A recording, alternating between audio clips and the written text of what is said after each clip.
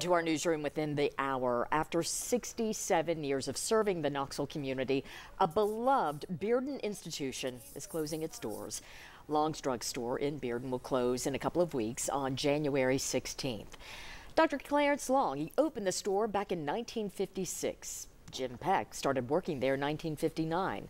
After Dr. Long died, Peck and his brother purchased the store and they kept it open and family owned for decades. Jim Peck's son, Hank Peck, eventually picked up the business. He says the decision to close is hard, but he's thankful for all the memories and support from the community. The pharmacy will transfer prescriptions to CVS. More in this story coming up at 6 and online.